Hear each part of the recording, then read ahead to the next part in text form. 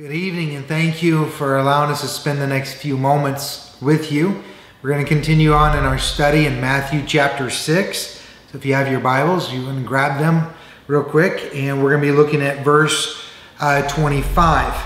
Last week we had looked at uh, the scripture there in verse 19 where Jesus said, Do not lay up your treasures on earth where that moth and rust uh, destroy and where thieves break in and steal, but to lay up your, uh, yourself treasures in heaven where neither moth nor rust destroys and where neither thieves do break in and steal. For Jesus said, For where your treasure is, there your heart will be also. And so we've been going through this study looking at motives because I believe that Jesus is coming down speaking um, here with the Beatitudes about the motives and the intent of our heart. So verse 35 or 25 says, Therefore I tell you, do not be anxious about your life, what you will eat or what you will drink, nor about your body, what you will put on. Is not life more than food? And the body more than clothing.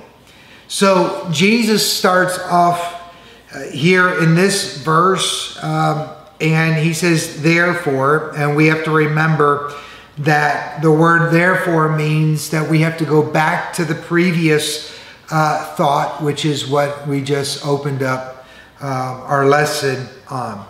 So Jesus was saying that uh, he's going back to the thought of laying treasures on earth. And we are people that we have to be careful because we can definitely get caught up in laying up treasures on earth. Many a times we can deal with fear, we can deal with worry simply about our tomorrow, not knowing about um, what's going to happen next month, the next six months, the next year, the next five years, the next 10 years. Um, so these are all things that we we that are in the back of our mind that we can definitely be concerned about and definitely uh, deal with worry or some people deal with fear about the future and part of it is the question of when I finally arrive or I'm no longer able to work at whatever age that will be, will I have enough um, to survive on? And so I do not believe that Jesus is referring to or talking about that we should not put back for tomorrow. I don't think that he is talking about us uh, that we should uh, that we should not seek um, to put back uh, in savings or for the future. I do not believe that's not what he's referring to. What I do believe is that he is telling us not to worry or to live in fear because today will definitely take care of itself and that I'm not even guaranteed to get to my tomorrow. And so let tomorrow take care of itself. But my conclusion is this that with what the Lord has blessed me with today, don't go wasting it all today, but make sure I can put back something for the future. Not that I'm worried or panicked or I'm going to live in fear about it, but I'm going to use wisdom that God has given us to, to be able to say, you know what, tomorrow's coming. I don't know what tomorrow holds, but He's blessed me with a little extra today.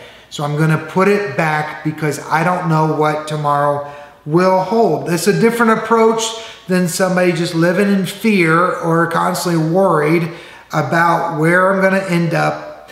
And how many of you know that many times you can live with worry or fear, wake up tomorrow, and then everything that you thought was going to happen, it just totally went the opposite way.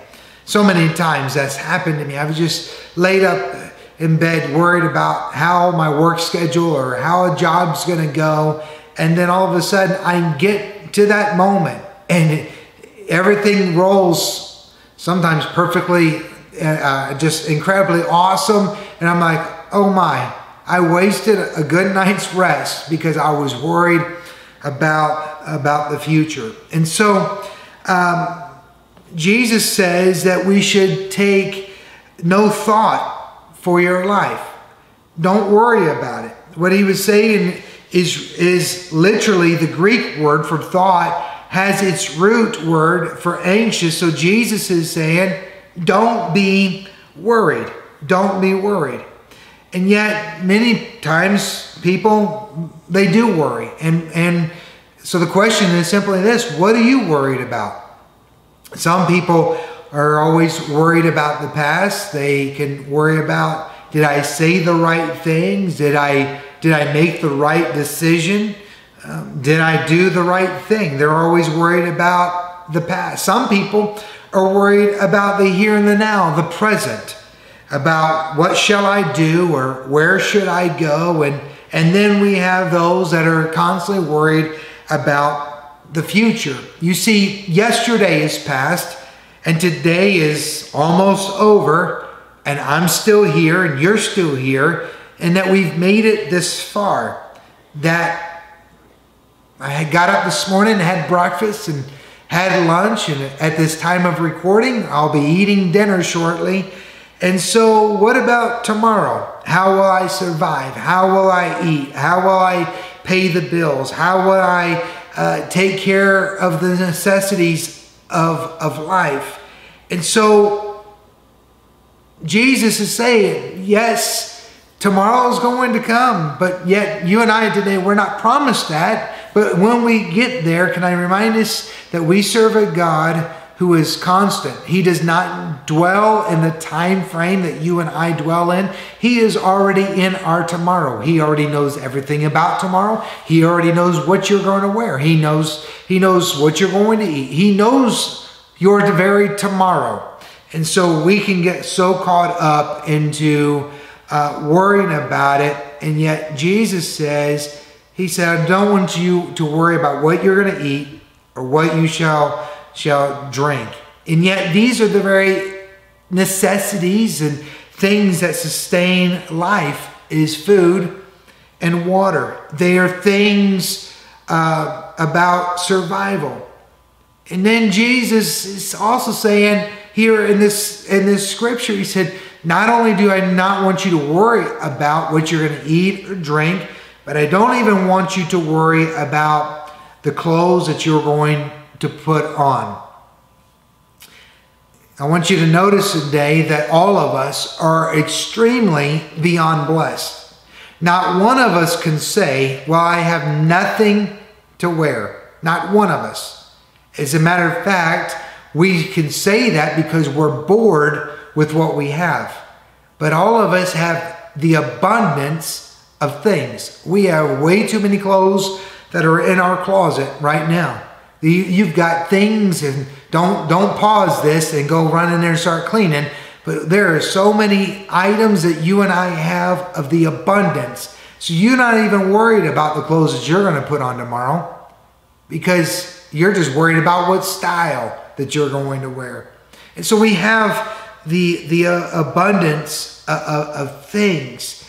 Um, you know, even those that are, are, are, destitute, most of the time they at least they have a shirt uh, that is on their back. And would you consider and think about it? How many pairs of clothes can you wear at one time? How many shirts can you put on at one at one time? How many how many dresses can you put on for the ladies? That is. Can you wear at one time? And for the men, how many pairs of pants can you put on at one time? So you think uh, about it. We have and we are so beyond blessed with the abundance of things. I remember uh, 20, almost 21 years ago now, it's been um, that, that uh, going on 22 years ago. Uh, matter of fact, next month, that uh, after living in Europe and, and uh, being over there in Budapest, Hungary, and uh, looking at, at the lack of things um, the lack of suits and of clothing that the people um, and those that in, in church that I visited in the different villages, what they had, uh, that I was compelled that when I I was thinking about all the things that I had, And so I was just a young young man. I was 20 years old, and I thought, you know, these people could use uh, and be blessed more with these items than I could be. And so I came home with some empty suitcases because I felt like I could be a blessing to help somebody else. And so it is today that that people can treasure these things. Um, people can take treasure in, in in in their food, and they can definitely take treasure um, in, their closet. And we have to be careful to not get caught up into uh, the, the latest fashions and to, to get caught up into all of these things uh, because it definitely can get to a point that it, it can uh, rule our life. And so life is more than what you and I are eating. It is more than the clothes that are on our, our body. And yet we need to be clothed and we need to be able to, to eat. But there is a cure about worry. There is a cure about me worrying about food. Number one is that Jesus points out, he said, first off, he goes, You and I need to take a, a moment, step outside. Uh, we need to go for a walk and we need to start looking at the birds. I want you to know that the birds, they, that they do not plant gardens, that they, they do not toil in the fields to be able to, to produce a crop. They do not take time to go and harvest a crop. They do not uh, store up food in their barns, and yet your heavenly Father feeds them. And so they are not his children, but they are his creation. But yet, he is today my Father and your heavenly Father. We were made into his image. We are uh, his children.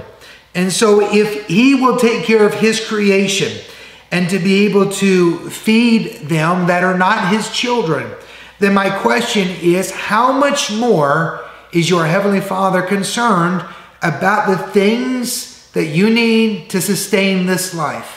He is concerned about taking care of and feeding and clothing His very own children. And so, they are simply. Um, their creation with the Creator. And that's the only relationship that they have. It is a creation relationship. But yet, you and I today, that we have a father uh, to a son or to a daughter uh, relationship with our Heavenly Father. And so, Jesus is letting us know I don't want you to be worried about it because how many of you can just uh, think about it and worry about and add height to your stature. Now, you may want to do that when you're young and to be able to, to, to, to grow and to add an, ex, an extra 18 inches to your height. Um, but how many of you can even just by the thought of it, just add an inch uh, to your height? And yet, if we can't do it just by our thought, then why are we so worried about uh, the things that God is already worried about and going to sustain and take care of us for tomorrow. So Jesus said, Why are you even worried about your clothes? So the cure for worried, worrying about your clothes is simply to go out and to consider the lilies in the field and how they grow.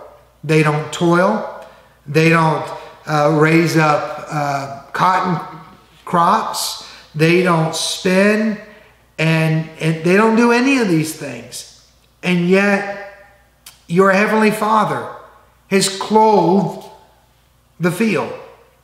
Consider uh, this in, that Solomon, the Bible says, with all of his glory and wealth, was not as beautiful, beautifully clothed as the lilies in the field. Let that sink in for a moment. Solomon, with all of his wealth, with all of the glory. So it goes back to what is our intent? What is our motive? If all we're doing is trying to attain things in life, then and, and especially for the things that are in this life and, uh, and on this earth, and man, we are definitely doing it all wrong. So think about it. Solomon, with all of his glory, with all of his wealth, Bible says that he was not as beautifully clothed as the lilies in the field. So Solomon, with all that wealth and splendor, was not clothed as beautiful as the flowers. So if God is your heavenly Father, and if He knows how to clothe the grass in the field that blossoms today and is dried up and burned into the ovens tomorrow,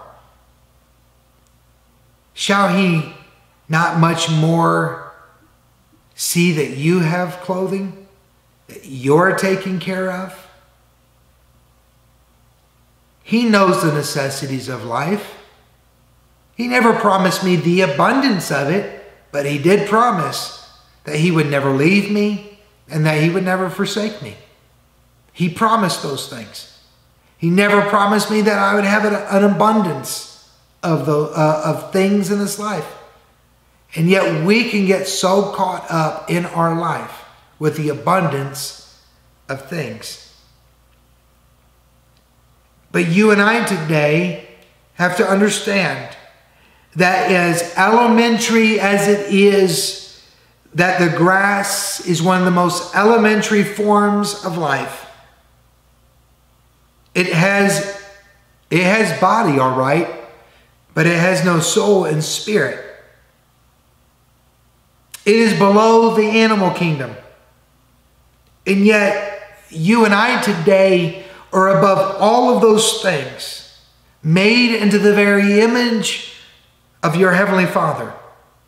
We are above the animals, above the veg, uh, uh, all, all the greenery. We're above all of those things. And yet we were made into the very likeness of God. So the argument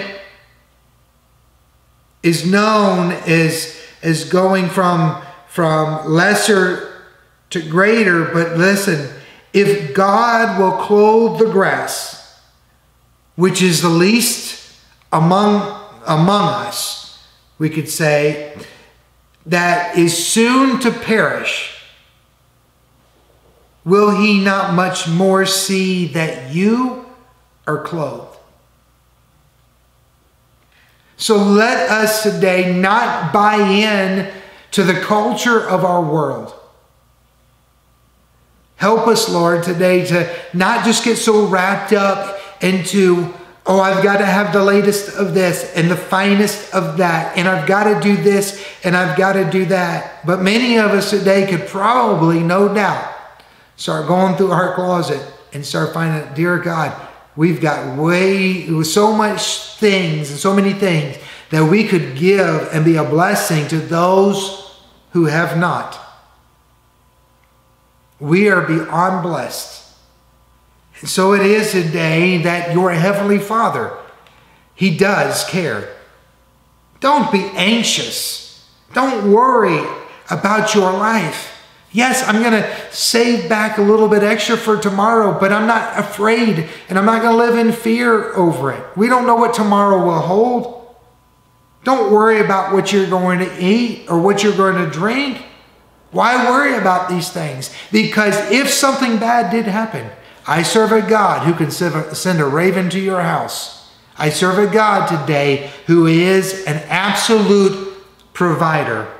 And so it is today that Jesus is reminding us don't be anxious. You can't add anything into your life.